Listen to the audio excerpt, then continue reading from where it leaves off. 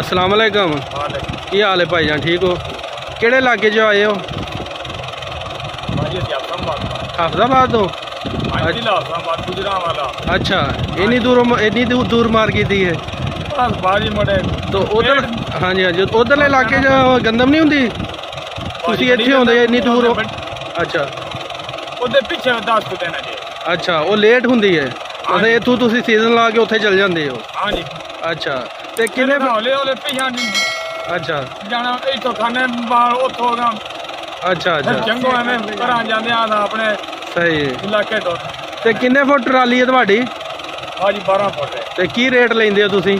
ਅਸੀਂ ਭਾਜੀ ਲੈਂਦੇ ਆਪਾਂ 45 ਅੱਛਾ। ਤੋਂ ਲੈ ਕੇ 5000 ਤੱਕ। ਸਹੀ ਹੈ। ਯਾਰ ਠੀਕ। ਤੇਰੀ ਅੱਛਾ।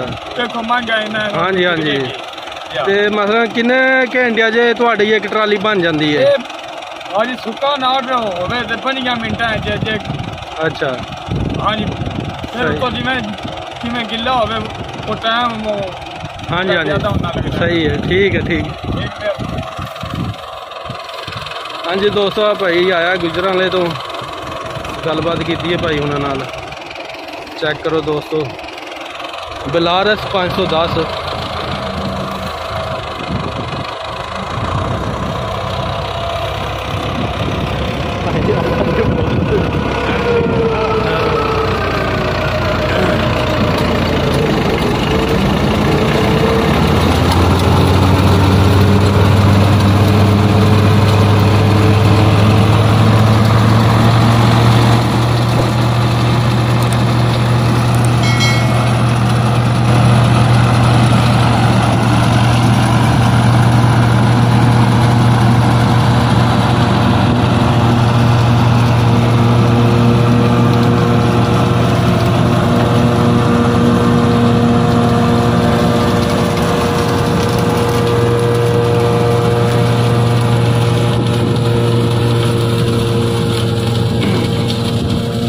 ਹਾਂਜੀ ਦੋਸਤੋ ਮਾਸ਼ਾਅੱਲਾ ਜੀ, ਇਹ 4 ਕਿੱਲਿਆਂ ਦੀ ਕਟਾਈ ਕੱਲ ਕਰਵਾ ਲਈ ਹੈ ਤੇ ਹਾਰਵੈਸਟਰ ਫਰਾਇਆ ਸੀਗਾ ਤਾਂ।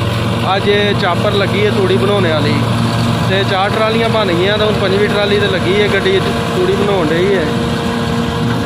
ਤਕਰੀਬਨ ਤਿੰਨ ਟਰਾਲੀਆਂ ਤਾਂ ਨਿਕਲ ਹੀ ਹੋਣੀਆਂ ਸਾਰੇ। ਐਵੇਂ ਨਹੀਂ? ਹਾਂ। ਅੱਛਾ। ਬੜੀ ਦੂਰੋਂ ਭਾਈ ਆਏ ਗੁਜਰਾਂ ਵਾਲੇ ਤੋਂ ਹਫ਼ਤਾ ਬਾਅਦ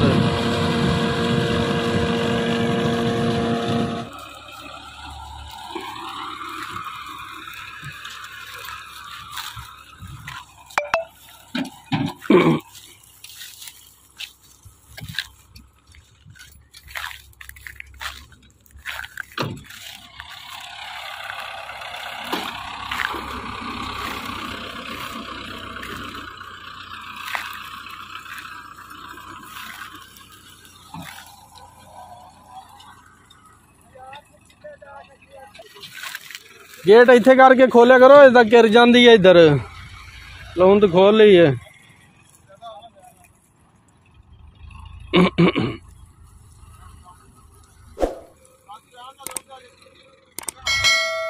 ਆਰਾਮ ਆਰਾਮ ਨਾਲ ਆਉਂਦੇ ਹੋ ਤੂੜੀ ਡਿੱਗ ਜਾਣੀ ਪਿੱਛੋਂ ਇਹ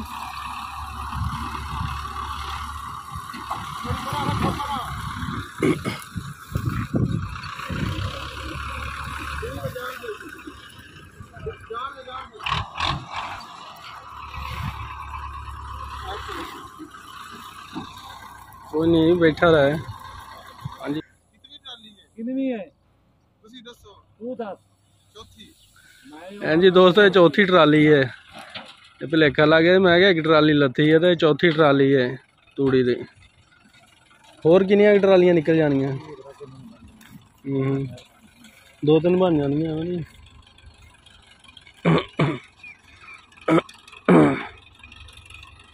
ਗਲਾ ਜਿਹਾ ਖਰਾਬ ਹੋ ਗਿਆ ਯਾਰ